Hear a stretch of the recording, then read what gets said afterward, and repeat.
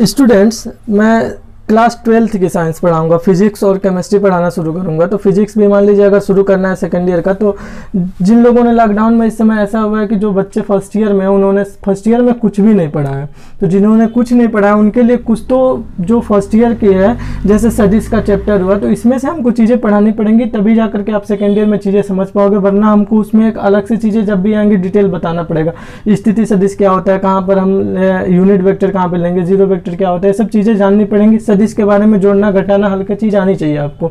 तभी जाकर के आप इन सबों का यूज़ कर पाओगे सेकेंड ईयर में। तो पहले हम फ़र्स्ट ईयर का जो समतल में गति में सदिश आता है, उस सदिश के बारे में हल्के सा पढ़ लेंगे। हल्का पढ़ने का मतलब सदिश के बारे में जितनी भी चीज़ें हम जानेंगे, उसके बाद हम सेकेंड ईयर के फिजिक्स पे जंप करेंगे। और इसके बाद, इसके पढ़ाने के बाद हम जो है केमिस्ट्री में तो नहीं केमिस्ट्री में अभी नहीं फ़र्स्ट ईयर फिजिक्स का बस सदिश पढ़ाने के बाद हम सेकेंड ईयर फिजिक्स शुरू करेंगे और सेकेंड ईयर केमिस्ट्री शुरू करेंगे। और आपको चीज़ें, अगर ये लगता है कि हाँ चीज़ें नहीं समझ में आ रही है तो आप तुरंत हमसे बोल सकते हो कि, सर, आप ये चैप्टर हमको फ़र्स्ट ईयर का पढ़ा दीजिए तो मैं वो यहाँ पर रख दूँगा। ठीक है? तो आप लोग ध्यान से पढ़ें, चीज़ें समझ में आएँगी। जरा मेरा पढ़ाने का तरीका जरा स्लो है और लेंदी है, लंबा है, लेकिन चीज़ें समझ में आएँगी और कंफर्म समझ में आएगी। आप लोग जरा सा ध्यान लगा करके पढ़ना। देखो, जो समतल में गति है, समतल में गति का क्या मतलब है? जैसे इसके पहले आप लोगों ने जो भी पढ़ा था, वो एक रेखा में गति पढ़ा था। रेखा में गति का मतलब कि मान लीजिए यहाँ पर कोई है, ठीक है, कोई पर्सन है यहाँ पर। अगर इसको रेखा में गति करने का मतलब ये सीधी ऐसे गति कर सकता है। या तो ये इस साइड में जाएगा, या तो इस साइड में आएगा, दो ही दिशाएँ हैं यहाँ पे। तो मैं ये कहूँ कि इस दिशा को दिखाने के लिए अगर ये मान लीजिए इधर जाता है और ये इस दिशा को प्लस मानता है, ठीक है तो इस वाले दिशा को क्या मान सकता है? माइनस मतलब ये कि जब दो ही दिशाएँ हैं तो एक को प्लस और एक को माइनस मान करके हम खत्म कर सकते हैं। चीज़ें हमको अलग से कोई दिशा नहीं है तो अलग से कोई भी नाम हमको नहीं देना लेकिन अगर ये जो पिंड है ना, इस बोर्ड पर लगे गति करने बोर्ड क्या है? समतल है। इस पूरे बोर्ड पर अगर गति करने लगे तो ये पिंड जो है, इधर भी जा सकता है, इधर भी जा सकता है, इधर भी जा सकता है, इधर भी जा सकता है, इधर भी जा सकता है, इधर भी जा सकता है। ज़रूरी नहीं है कोई कि एक रेखा में ही चले, यहाँ पर हम पूरे समतल में गति करा रहे हैं। तो मान लीजिए ये दो साइड में जा रहे हैं, तब तो हमने प्लस माइनस रख दिया। लेकिन हम ये कहें कि अब ये इधर गया तो आप किस दिशा का नाम लोगे? तो आपको स्पेशली किसी दिशा का नाम देना पड़ेगा। ठीक है? तो यहाँ पर अगर समतल में गति कर रहा है कोई पिंड तो चूँकि किस दिशा में जा रहा है तो हर दिशा का एक हमको अलग से नाम देना पड़ेगा। तो इसी चीज़ के लिए कि दिशा क्या है? उस राशि की, उस पिंड की, उस वस्तु की दिशा क्या है, उसको बताने के लिए हमने सदिश का यूज़ करते हैं। तो सदिश का यूज़ हम कब कर पाएँगे, जब हम सदिश के बारे में जानेंगे डिटेल। कि सदिश होता क्या है और सदिश को हम क्या करते हैं तो पता चलता है जैसे सदिश का जोड़ना, सदिश का घटाना, सदिश का गुणा, भाग, ये सब चीज़ें आना चाहिए, ठीक है? तो हम जानेंगे यहाँ पर कि सदिश क्या होते हैं। तो सबसे पहले देखिए, दो टाइप की राशियाँ होती है। भौतिक राशियाँ दो टाइप की होती है आप लोग जानते होंगे। एक होती है सदिश राशि और दूसरी होती है अधिश राशि। तो जो अधिस राशियाँ होती हैं अधिस राशियाँ क्या होती हैं कि वे राशियाँ होती हैं कि जिन्हें व्यक्त करने के लिए परिमाण की ज़रूरत होती है, लेकिन दिशा की ज़रूरत नहीं होती है, वे होती है अधिस राशि अब देखो, परिमाण का क्या मतलब है? जैसे परिमाण का यह मतलब है, मैं ये कहूँ कि संख्यात्मक मान। जैसे आपसे कोई पूछे कि आपने आज दिन भर में कितना टहला, कितनी दूरी चली तो आप कहोगे हमने पाँच किलोमीटर चला। आप ये नहीं बोलोगे, हमने पाँच किलोमीटर इस दिशा में चला, अब ये नहीं बोलोगे आप, ठीक है? आप बोलोगे हमने दिन में पाँच किलोमीटर चल लिया तो वो क्या हुई आपकी? दूरी हुई, ठीक है? वहाँ पे आपको दिशा की ज़रूरत नहीं बताने की तो जो पाँच बताया आपने, पाँच, वो पाँच क्या है? संख्यात्मक मान है? या संख्यात्मक मान का मतलब परिमाण है, और वही क्या है? अधिस राशि को पूरे अधिस राशि को, यानी दूरी को क्या कर दे रहा है वो व्यक्त कर दे रहा है। जैसे आपसे ये कहा जाए, संख्यात्मक मान मान के साथ में आप क्या यूज़ कर ले रहे हो उसके साथ में कि उसकी यूनिट क्या है? मात्रा क्या है? पाँच किलोमीटर या पाँच सौ मीटर आपने चला। मतलब यूनिट आपने यूज़ किया और संख्यात्मक मान, दो चीज़ें यूज़ किया आपने। अब दो चीज़ें यूज़ करने पर आपने बता दिया वो क्या है? अधिस राशि। लेकिन अगर आपको दिशा बतानी पड़ती, जैसे मैं जब सदिश आएगा तो डिटेल क्लियर करूँगा उसके बारे में। अभी अधिस हम जानते हैं। जैसे मान लो आपसे ये पूछा जाए कि आज आप करेंट डे में, जिस डे में हो, आज आज का मान लीजिए, उनतालीस डिग्री जो है तापमान था और अब उसके एक दिन पहले सैंतीस डिग्री सेल्सियस तापमान था। तो आपसे ये पूछा जाए कि इन दोनों में कितने डिग्री सेल्सियस तापमान का अंतर है तो आप बोलोगे कितने का है? दो डिग्री सेल्सियस का। समझ में आ रहा है ना चीज़ें? तो दो डिग्री सेल्सियस का क्या मतलब है? आपने किया क्या? उनतालीस में से सैंतीस को क्या किया? घटा दिया। मतलब सिंपल। आपने अधिस को जोड़ने, घटाने की तरीका वही है जो आप शुरू से क्लास पाँच से या एक से जो करते आ रहे हो, जोड़ना, घटाना सिंपल है। वही क्या होता है? अधिस का तरीका, जोड़ना, घटाना, गुणा, भाग, सभी चीज़ें सिंपल है। ठीक है? जैसा आपने शुरू से करता है, वैसे कर देना है आपको। जैसे हम ये कहें कि अगर मान लीजिए कोई कोई पॉइंट है यहाँ से लेकर के यहाँ तक गया तो इसके बीच की कितनी दूरी आपने बता दिया, बस सिंपल सा वही क्या होता है हमारी अदिश राशि हो जाती है। ठीक है? अब एक चीज़ और आपको बता दें हम आपको कि अगर मान लीजिए अधिस राशि का जो परिमाण होता है, उनके साथ साथ में एक चीज़ जानना होता है, आपको यूनिट ज़रूरी होती है। कोई भी फिजिक्स में कहीं भी बिना यूनिट के आप कुछ बोल नहीं सकते तो इसमें परिमाण के साथ साथ यूनिट ज़रूरी होती है, यानी केवल परिमाण और यूनिट दो चीज़ें चाहिए होती है। अब आती है हमारी सदिश राशि। सदिश राशियाँ क्या होती हैं? इन जैसे आप सिंपल सा मतलब समझते हो कि सदिश राशि होती हैं जिनमें हम परिमाण और दिशा दोनों की ज़रूरत होती है तो सदिश हो जाती है। सही है सिंपल है, यही तरीका होना ही चाहिए। लेकिन एक चीज़ और हम इसमें ऐड कर लेंगे कि सदिश होता क्या है? सदिश राशियाँ वे राशियाँ होती हैं जो परिमाण के साथ दिशा की ज़रूरत होती है व्यक्त करने के लिए, लेकिन एक टर्म और हम इसमें जोड़ेंगे कि सदिश राशियाँ त्रिभुज के हैं और समांतर चतुर्भुज संबंधी योग के नियम का पालन करती हैं। इसका यह मतलब हुआ कि दो चीज़ें हैं, एक त्रिभुज संबंधी योग नियम है और एक समांतर चतुर्भुज संबंधी। दोनों को हम डिटेल आगे पढ़ेंगे, बस ये जानना है आपको। सदिश राशियाँ क्या होती हैं, जिनमें परिमाण, दिशा दोनों की ज़रूरत हो और दोनों के साथ साथ वो राशियाँ योग संबंधी त्रिभुज का नियम और समांतर चतुर्भुज के नियमों का क्या करें, पालन करें तो वो क्या कहलाएँगी? सदिश राशियाँ। सदिश राशियाँ में क्या आती हैं? विस्थापन आएगा बेग आएगा, त्वरण आएगा, ठीक है? ऐसी चीज़ें आएँगी। हम यहाँ पर एक चीज़ ये समझते हैं कि जो विस्थापन होता है, विस्थापन, इनको हम किसमें रखते हैं? विस्थापन को हम रखते हैं किसमें? सदिश में। और जो हम इसको रखते हैं, क्या बोलते हैं, दूरी को। दूरी को हम किसमें रखते हैं? अदिश में रखते हैं। तो हम यहाँ पर चीज़ें ये बताना चाह रहे हैं आपको कि विस्थापन किस तरीके से जो है सदिश होता है और किस तरीके से जो दूरी होती है वो अदिश होती है। इस चीज़ को ज़रा आप समझ लो, ठीक है? कुछ तो क्लियर होना चाहिए ना, फंडा। देखो आप लोग, एक हमने ले लिया विस्थापन और एक हमने ले लिया दूरी। एक चीज़ देखो वेग को भी ना सदिश कहा जाता है और ये जो चाल होती है, इसको क्या कहा जाता है? अदिश कहा जाता है। जरा सा चीज़ें समझ लोगे तो क्लियर रहेंगी चीज़ें। देखो, विस्थापन क्या होता है? विस्थापन का मतलब कि मान लीजिए कोई है, ठीक है? इस एक्स पॉइंट से चला वाई तक चला, ठीक है? एक्स पॉइंट से चला वाई तक चला फिर वाई से जो है, यहाँ पर एक मान लीजिए पॉइंट कितना है? जेड इस जेड पर आया और इस जेड से फिर कहाँ गया? एक्स पर। यानी कि पहले ये यहाँ गया, फिर यहाँ से यहाँ आया और फिर इस पॉइंट से जो है ये इधर आ गया। तो अगर देखा जाए सच में तो ये कितनी दूरी चला? मान लीजिए ए है, ये बी है, या सी है, या आप अंक में ले लो और आसानी रहे, ये मान लीजिए दो मीटर चला, ये तीन मीटर चला और यहाँ चार मीटर चला। तो ये कितनी दूरी चला टोटल टोटल कितनी दूरी चला? दूरी का मतलब वो कितना चल रहा है? वो हमारी जो पथ की जो लंबाई होती है, वो दूरी होती है। दो मीटर, तीन मीटर, चार मीटर। यानी चार, तीन, सात, दो, या कितना चला टोटल? नौ मीटर। नौ मीटर इसकी क्या हो जाएगी? दूरी हो जाएगी, लेंथ हो जाएगी। लेकिन अगर हम पूछे विस्थापन तो विस्थापन होता क्या है? फ़र्स्ट पॉइंट जहाँ से आपने शुरू किया चलना, और लास्ट पॉइंट जहाँ पर आप रुके ठीक है? इन दोनों के बीच की दूरी क्या होती है? विस्थापन होती है। तो मान लो, ये यहीं से चला था और यहीं पर आकर के रुक गया तो यहाँ इसका विस्थापन कितना है? ज़ीरो। एक चीज़ और हम आपको बताना चाहेंगे। यहाँ पर विस्थापन इसका कितना है? ज़ीरो। अगर मान लीजिए यही जो है, ठीक है? ये एक्स से चल करके वाई में आ गया। तो विस्थापन के लिए हमको देखना पड़ेगा कि वो किस दिशा में गया। तभी तो हम पता चल करेंगे कि कितनी दूरी है। जैसे मान लो ये एक्स है, इस एक्स से यहाँ पर आया। तो इस एक्स से यहाँ तक की जो दूरी लेंगे, वही हमारा क्या हो जाएगा? विस्थापन हो जाएगा, लेकिन कब? जब दिशा के साथ में देंगे। जैसे मान लो आपसे ऐसे एग्ज़ाम्पल मिलो। अब ये पूछे कोई कि आप आप खुद ना जहाँ पर हो आप वहाँ से चलना शुरू किए और आप कहीं से आ, दिन भर बाइक लेकर के चलाते रहे किसी ने पूछा आपने कितना चला? आपने बोला छप्पन किलोमीटर चला हमने दिन भर में ठीक है? लेकिन अगर आपसे कोई पूछे कि अच्छे बताइए आप कहाँ गए थे? ठीक है? तो आप जरा सा इशारा से बोलोगे कि धर्मपुर गए थे या हम अपने यहाँ गए थे, जहाँ गए थे? मतलब अपने पास के इलाके बोलोगे और उधर जरा सा आप इशारा भी कर देते हो कि हम गए थे, ठीक है? तो वो आदमी आप क्या बोल रहे, आप ये बोल रहे हो कि हम इधर गए थे, यानी आप उसकी दिशा बता रहे हो, ठीक है? दिशा के साथ साथ दूरी तो आपको बता नहीं है वहाँ पर आप दिशा भी बता दे रहे हो। तो जहाँ पर आपने दिशा बताया ठीक है जहाँ पे आपने इंडिकेट किया जहाँ पे आपने इशारा किया कि हम यहाँ से लास्ट पॉइंट किधर चले तो वो क्या हो गया हमारा विस्थापन? और आपने बस बता दिया हमने कितनी दूरी चला तो वो हमारा क्या हो गया? आ, दूरी हो गई लंबाई जो पथ की है वो क्या होगी दूरी। और एक चीज़ और देखो ये बोला जाता है कि वेग और चाल ये दोनों सेम है तो इन दोनों में सदिश और अदिश क्या है? तो एक चीज़ देखो वेग बराबर क्या होता है? विस्थापन और बटा समय और चाल बराबर क्या होता है? दूरी बटा समय। तो एक चीज़ ज़रा देखो, यहाँ पर विस्थापन यूज़ करके हम वेग को ला रहे हैं और विस्थापन कैसी राशि होती है? सदिश राशि होती है। इसके नाते वेग भी कैसी राशि होती है? सदिश। और चाल किसको हम यूज़ कर रहे हैं? दूरी और समय। तो दूरी कैसी राशि होती है? अधिस राशि होती है। समय तो अदिश होता ही होता है। समय की तो कोई दिशा नहीं होती है, ठीक है? तो दूरी अदिश राशि है। इसके नाते चाल कैसी राशि हो जाती है? अधिस राशि हो जाती है। तो यहाँ पर हमने ये जाना कि अधिस और सदिश राशियाँ क्या होती हैं?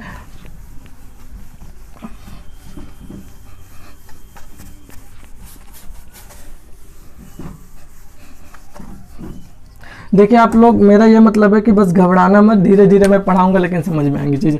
अब हम पढ़ेंगे कि सदिश का बनता कैसे है, सदिश को हम बनाते कैसे हैं। आपने मान लीजिए, सदिश जान लिया कि सदिश होता क्या है, कि सदिश जो है परिमाण और दिशा दोनों की ज़रूरत तो सदिश बनाने के लिए, जैसे मान लीजिए, कोई तीन किलोमीटर चला किसी दिशा में तो हमने क्या किया? ऐसा बना दिया, यहाँ लिख दिया तीन किलोमीटर, और हमने क्या दिखा दी? दिशा दिखा दी। मतलब ये कि ये जो लंबाई होती है, ये वाली लंबाई, ये क्या बताती है? परिमाण परिमाण का मतलब संख्यात्मक मान, कितनी दूरी चला। और ये वाली चीज़ क्या बताती है? डायरेक्शन यानी कि दिशा। ठीक है, ये क्या बताएगा हमारा? दिशा बताएगा। और ये वाला क्या बताया? मैग्नीच्यूड परिणाम, परिमाण बताएगा। ठीक है? तो यहाँ पर हम ये कह रहे हैं कि देखिए मान लीजिए, इसको व्यक्त करने का क्या तरीका है? ये जो तीर है, यही मुख्य है। जैसे मान लीजिए बल। बल आप जानते हो, बल क्या है? एक सदिश राशि है। बल सदिश राशि है, क्योंकि अगर आप इस पर बल लगाओगे, इस पर फोर्स दोगे दबाओगे तो पता चलेगा कि हम इधर दबा रहे हैं कि इधर खींच रहे हैं, ठीक है? दबा रहे हैं किसी साइड में हम। तो ये बल कैसी राशि है? सदिश राशि है, कुछ सोचना ही नहीं है इसमें, ठीक है? तो बल सदिश राशि है। तो बल को हम किससे प्रदर्शित करते हैं? एफ़ से। लेकिन अगर हम इसको सदिश के साथ अगर हम यूज़ करें, सदिश इसके साथ में लगा दे तो और ज़्यादा बेटर माना जाएगा इसको। तो हम इसके ऊपर क्या लगा देते हैं? एक ऐसा लगा देते हैं, तीर। तो ये क्या पता चलता है कि एक सदिश राशि है। देखो, पहले जो शुरू किया गया था, वो कुछ मोटा, ऐसे वोंडे तरीके से लिखा जाता था, मोटे तरीके से। तो इसको ये बार बार लिखना, आप अगर अब लिखना हो, फिर बार बार आपको ऐसे हैंड राइटिंग और बेकार लगेगा लिखने में। तो इसके नाते यफ के ऊपर ऐसे, अब शॉर्टकट में कहीं कहीं यफ ऐसे डाल दिया जाता है। लेकिन बेटर यही तरीका होता है लिखने का कि किसी भी सदिश के ऊपर क्या लगा दो, एक छोटे से तीर का निशान लगा दो, वो क्या हो जाता है? सदिश हो जाता है। तो ये हमारा सदिश का बनना हुआ। अब हम देखेंगे कि सदिश का एक चीज़ और देखो आप लोग, सदिश का जोड़ना घटाना भी हम लोग और भी बाद में पढ़ेंगे। पहले ये चीज़ हम देखते हैं कि समान सदिश क्या होते हैं। अब हम जान गए सदिश होता क्या है? सदिश बनाते कैसे अब सदिश के प्रकार। सदिश के प्रकार में पहले हम देखेंगे समान सदिश या सम सदिश, ठीक है? समान, नाम से ही स्पष्ट है, समान का मतलब बराबर। मान लीजिए दो सदिश हैं, एक सदिश ऐसा है, कुछ ए सदिश ऐसा है, ए वाला। हमने कहा सदिश के ऊपर हम तीर लगाते हैं तो सदिश। और ये हमने क्या किया? एक सदिश ले लिया क्या? बी तो ये क्या हो गया? हमारा क्या पता चला? वेक्टर बी है और वेक्टर ए है। ये दोनों कब सदिश समान कहलाएँगे? जब इनकी डायरेक्शन दिशा व परिमाण। दिशा व परिमाण। दोनों आपस में क्या हो? बराबर। देखो, दोनों की दिशा सेम है। ऐसे ऐसे में दोनों की दिशा क्या है? सेम है, और दोनों के परिमाण भी एग्जैक्ट क्या है? बराबर है। लंबाई, परिमाण का मतलब लंबाई। अगर दोनों की लंबाई भी बराबर है, दिशा भी बराबर, एक दिशा में जा रहे हैं तो दोनों क्या कहलाएँगे? समान सदिश या समद सदिश कहलाएँगे। अगर मान लीजिए, यहाँ पर असमान सदिश हमको जानना है तो जस्ट इसी का उल्टा। असमान सदिश। असमान सदिश क्या होता है? असमान सदिश वो सदिश होता है कि जिनकी कोई एक चीज़, या तो दिशा, या तो परिमाण बराबर ना हो। तो वो क्या कहलाएँगे? असमान। जैसे मान लीजिए, हमारे ये ए है। क्या है? वेक्टर ए है। और ये हम यहाँ पर बना दिए वेक्टर बी इन दोनों में क्या है? दिशा समान है, लेकिन इसकी लंबाई और इसकी लंबाई में क्या अंतर इसकी लंबाई कम है, इसकी लंबाई क्या है? ज़्यादा है। तो कैसे सदिश कहलाएँगे? असमान सदिश एक चीज़ और आप लोग देखो, इन्हें उल्टा कर लेते हैं एक चीज़ और, कि मान लीजिए हमने एक सदिश ऐसे ले लिया, वेक्टर ए, ठीक है? और एकदम सेम लंबाई का हमने क्या ले लिया? वेक्टर बी ले लिया। वेक्टर बी हमने ले लिया, वेक्टर ए और वेक्टर बी। इन दोनों में क्या अंतर है? लंबाई तो हमने समान लिया, लेकिन किसका अंतर है? दिशा का। एक चीज़ और इसको हम बोल सकते हैं, ऐसे समान सदिश कब कहलाते हैं कि जब इनको एक दूसरे के ऊपर रखो एक दूसरे के ऊपर रखो और संपाति हो जाए। संपाति का मतलब सेम जैसे ये था सेम उसी के ऊपर दूसरा आ जाए तो वो क्या होते हैं? समान सदिश अच्छा ये बताओ आप लोग, इसको और इसको एक दूसरे के ऊपर रखें तो कभी ऐसे आएँगे, कभी नहीं होंगे। इसको इसके ऊपर रखेंगे, ये तो मिल जाएँगे, नीचे वाले तो हिस्से मिल जाएँगे, ऊपर वाले कभी नहीं मिलेंगे।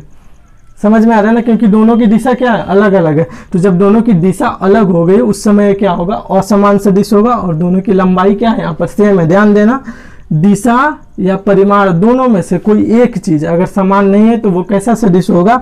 असमान सदिश होगा। अब जो अगला है, वो है स्थिति सदिश, और बहुत बहुत ज़्यादा इंपॉर्टेंट है, क्योंकि सेकेंड ईयर में आपको इसकी बहुत ज़्यादा ज़रूरत पड़ने वाली है। हर मतलब ज़्यादातर चैप्टर्स में, स्थिति सदिश। स्थिति सदिश। ठीक है? एक चीज़ और भी है, अगर मेरे पढ़ाने के तरीके में किसी तरीके की आपको जैसे ज़्यादा बोलने की या कुछ ऐसे बोलने की कोई लग रहा है कि हाँ सर, जरा सा ये सुधार होनी चाहिए तो आप कमेंट करके नीचे बता दो कि हाँ सर, ये चीज़ जरा सुधार कर लीजिए, चाहे बोर्ड में, चाहे लिखावट में, किसी भी चीज़ में। ठीक है? स्थिति सदिश क्या होती है? नाम से स्पष्ट है, स्थिति सदिश मतलब स्थिति बताने वाला सदिश सिंपल सा। जैसे मैं ये कहूँ कि ये कोई पॉइंट है, ठीक है? ये कोई आदमी है और यहाँ पर कोई दो है। मान लीजिए ये राम है मिस्टर और मिस्टर क्या है? ये श्याम है। तो हम ये कहें कि मान लीजिए राम के दाएँ, अपने ही दाएँ मानो, ठीक है? राम के दाएँ क्या है? श्याम है और श्याम के बाएँ क्या है? राम है। तो अगर कोई पूछेगा इस राम से कि अच्छा बताइए, श्याम किधर है आपसे? तो ऐसे मान लीजिए इन लोगों के बीच की दूरी है 300 मीटर। इन दोनों के बीच की दूरी कितनी है? 300 मीटर। तो ये राम क्या कहेगा कि ये जो श्याम है, मुझे से 300 मीटर दूर मेरे दाएँ साइड में है। ये क्या बता रहा है उसकी? स्थिति बता रहा है। स्थिति बताने का मतलब देखो, स्थिति सदिश बता रहा है। स्थिति भी बताए और दिशा भी बताए, तभी तो सदिश होगा ना वो। तो स्थिति क्या बता रहा है कि तीन सौ मीटर दूर है। अब ये बस बोल रहे कि 300 मीटर दूर है। अब पता नहीं है 300 मीटर दूर इधर है इधर है इधर है, किधर है 300 मीटर दूर पता ही नहीं चल रहा। तो 300 मीटर दूर किधर है? ये इसके दाएँ साइड में तब स्थिति कंप्लीट बता रहा है, ये स्थिति सदिश।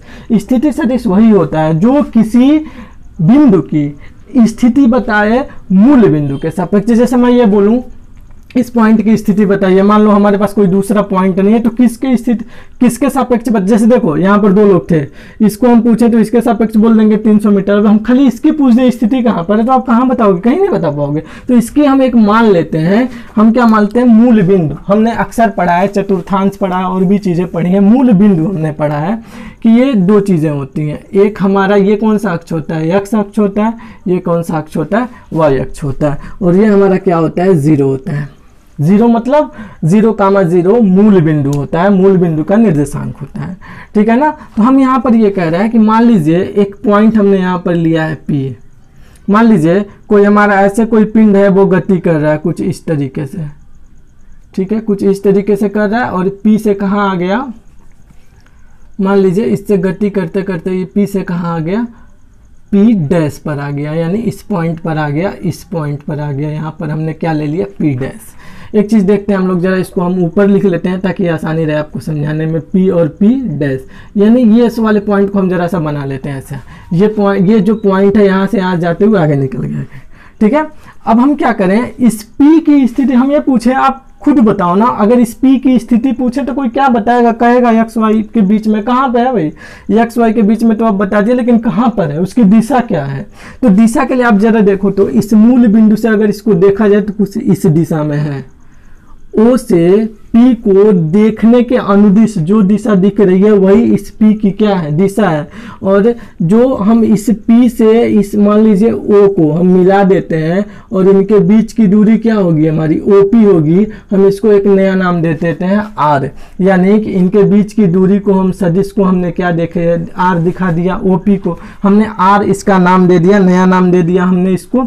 जो ओ पी हमारा है, वो क्या है? स्थिति सदिश है। और ये जो ओ पी जो ओपी क्या है? स्थिति सदिश है। स्थिति सदिश है। और बता क्या रहा है ये? ये बता क्या रहा है? इस पी की स्थिति किसके सापेक्ष? मूल बिंदु के सापेक्ष स्थिति और दिशा दोनों बता रहा है। इसलिए ओपी क्या है? सदिश राशि है। तो और ओपी डैश एक चीज़ और हम ले लेते हैं। ये पी डैश है।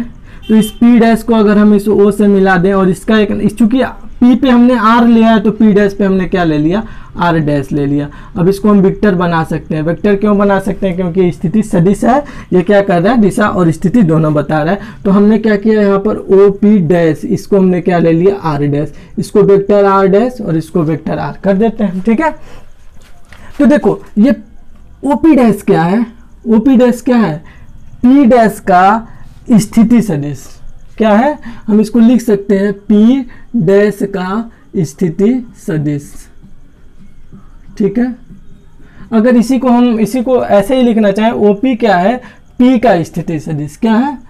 पी का स्थिति सदिश। स्थिति सदिश का मतलब कि वो मूल बिंदु से किस दिशा में, जैसे यही मूल बिंदु है, हम कोई यहाँ पर रख दें कोई पॉइंट वो देखेंगे तो कुछ इस दिशा में ऐसे दिखेगा। आप समझो, आप यहाँ पर खड़े हो, यहाँ पे आपकी आँख है, यहाँ से आप देख रहे हो, ठीक है ना? तो यहाँ से इसको ऐसे कुछ दिखेगा, इसको कुछ ऐसे दिखेगा, यहाँ से कुछ ऐसे दिखेगा, यहाँ से कुछ ऐसे दिखेगा। तो एक होगा ओपी दूसरा होगा ओपी डैश यानी दो स्थिति सदिश हमको मिल रहे हैं, एक ओपी और एक ओपी डैश यानी स्थिति सदिश हो गया। एक चीज़ और हमारा होता है वो होता है विस्थापन सदिश। इसी में समझना है हमको विस्थापन सदिश। विस्थापन सदिश क्या होता है? ठीक है? विस्थापन सदिश। विस्थापन सदिश क्या होता है? जैसे देखो, ये बिंदु पी से, ये जो पिंड चला है पी से पी डैश पे क्या है? ठीक है ना? विस्थापन सदिश का मतलब जो विस्थापन हुआ है, उसी का सदिश। तो P से लेके P डैश तक जो गति हो रही है, इस गति के संगत हम इसको क्या बोलेंगे? स्थिति सदिश बोलेंगे। सॉरी विस्थापन सदिश। विस्थापन का मतलब कोई पॉइंट x से लेकर के कोई y तक गया है तो इससे लेके यहाँ तक इस गति के संगत, क्योंकि कोई ना कोई गति होगी तभी तो x से y तक जा रहा है। तो हम इसको क्या बोलते हैं? P से लेके P डैश ये जो P पी डैश है, वो क्या है? गति के संगत। गति के संगत। क्या है? विस्थापन सदिश है। विस्थापन सदिश है। ठीक है? अब ये हो गया स्थिति सदिश, दूसरा हो गया विस्थापन सदिश। दोनों में अंतर क्या है? स्थिति सदिश, विस्थापन में स्थिति का क्या मतलब? इन पॉइंटों की स्थिति हमको पता चल रही है। पी की और पी डैश की किसके सापेक्ष? ओ के सापेक्ष। लेकिन पी पी डैश क्या है? ये है हमारा विस्थापन सदिश किसके संगत? इस गति के संगत। जो गति ये ऐसे कर रहा है। इस गति के संगत का मतलब इस गति के साथ साथ। ऐसे गया ऐसे गया इस चीज़ को, ठीक है? ये पिंड हमारा आया, ऐसे निकल गया। तो ये जो हमने पॉइंट लिया, ये क्या इस गति के संगत क्या है? विस्थापन सदिश है। समझ में आ रही इतनी चीज़ें? आगे चलते हैं हम लोग।